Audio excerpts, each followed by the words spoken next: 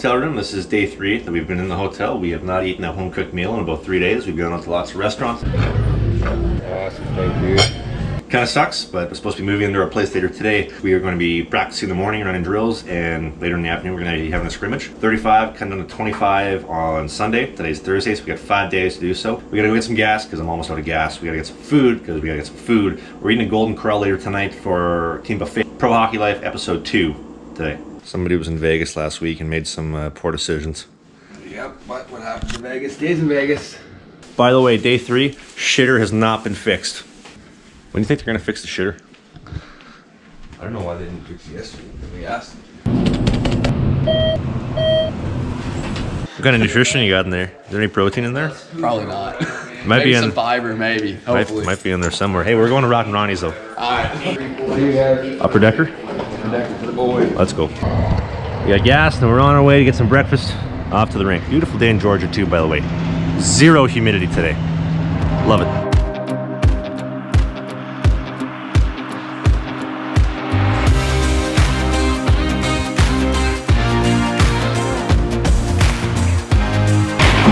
Here we go, GoPro. Let's take a Here we, picture. here we go, GoPro. Take a picture. Can we do that?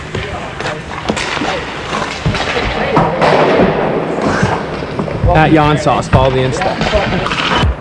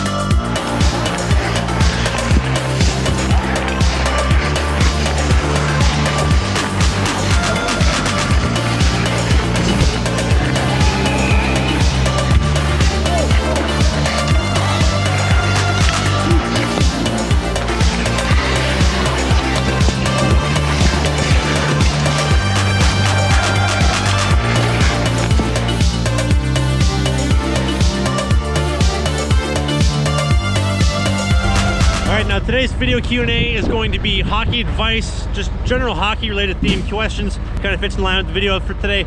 Today's Q&A and tomorrow's will both be of this theme, so if your question wasn't answered today, might be in it tomorrow.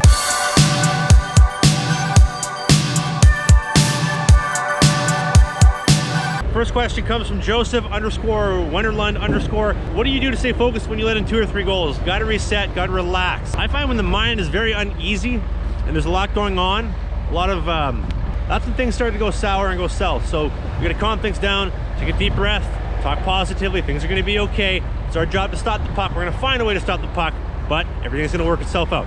Trust me. Makes a big difference. Mayor Craig 01, have you ever wanted to play forward or defense, but was still get dedicated to playing goal? I switched to become a goalie when I was 10, and ever since I've always thought, what if? Like, what could I have done if I was still a forward or a D-man? I like to think at nine years old, I was pretty solid for what I was. Uh, but obviously 23 years, 23 years old, going on 24, 13 years since the switch. It's kind of too late to wonder why now. But I do love playing out when I can. It is fun. All right, next question comes from Keegan underscore five, and he asks, what's your favorite KJHL memory? For those who don't know, the KJHL is the junior B league that I played in once upon a time for three years. Getting traded from Lundar after they sat me for three months because I wanted to trade because I didn't want to play for a team that just didn't take anything seriously ever. Putting up a shutout, 40 save goose egg, game three of the playoffs to go up 2-1 in the series. Although we did get gassed the next two games in a row to get eliminated, we still lost though, so it doesn't really matter. That's my favorite memory though. Goose egg, game three, 40 saves, suck at Lundar. I'm, I'm just kidding, I actually love Lundar, my dad still lives there. What would you say is the next step for a 20 year old that wants to keep moving up?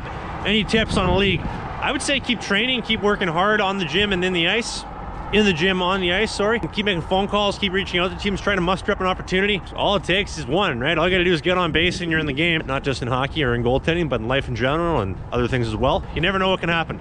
All it takes is one. One person to believe in you, give you a shot. E. Johansson, good Swede, asked, would you ever consider playing pro in Sweden like the SHL? Absolutely. If there's an opportunity to play somewhere and it's a good shot, I would absolutely entertain that idea. All right, next question comes from Nicholas Cristiano. What's your favorite aspect of goaltending? I love stopping pucks. I love the gear. I like hanging out on a team, just generally speaking. Goaltending is just fun though. Like, I think it's very underappreciated. I like stopping pucks. I don't think I need to explain any more than that. Next question comes from uh, Leland G001. I really like this question. What team did you have the most fun playing on when you played junior? I'm gonna go hands down the Arborg Ice Dogs. I had fun because, long story short, I asked for a trade over the summer. I said, I don't wanna play here if the team is gonna take things seriously, if we're gonna have five guys showing up for practice, eight guys showing up for games. I wanna play college hockey. I wanna keep playing. Like, I, I can't have the tools in place to achieve that goal if this is where I'm playing. So long story short, I ended up getting sat for three months till I think middle of November, end of November, getting traded to Arborg, played for Arborg. Every day I was showing up at the rink with a purpose, trying to get better, generally having a good time. And I think that's why I ended up signing to play college hockey at VIU. Granted, things didn't work out the way that I wanted them to, but I just generally was having a good time.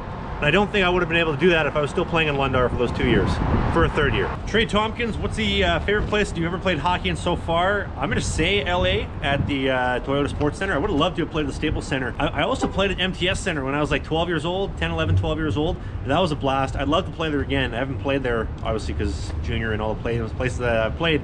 Don't play at MTS Center, but MTS Center, favorite rink in the world, the one place that I would dream to play a game on. Jacob underscore Donner 10, what type of workouts do you do when you go to the gym? If you watch the videos, you'll see that almost every video I try to put a workout component, an on-ice component, in some form like a Q&A or like talking pieces to kind of provide information. If you watch the videos, you'll see various exercises that I do in the gym. I don't think I want to do a full dedicated gym video because it's just not that entertaining or interesting for a lot of people. Uh, but if you really care and you want to go back and watch some of the videos, that's what I do. We do a lot of squats, deadlifts, uh, trap jump bars, shoulder press, bench press, a lot of core stuff, just general stuff to be better at goaltending.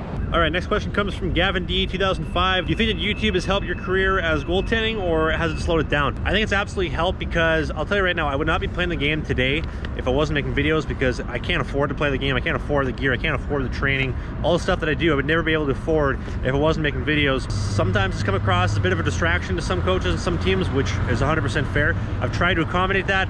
Uh, but I would say it 100% has helped more than it has hurt because without it, I wouldn't still be playing. Blake 30, Usenik 123, what keeps you motivated to keep playing, never quitting, always finding the positives and things? I'm gonna say right now, the biggest change that I made in this offseason was changing my mental approach and how I think the game and how I approach the game. And with John Stevenson changing a lot of that and just my perception on things, I'm probably not playing the game right now. If I didn't make the changes that I had with John, um, I probably would have given up.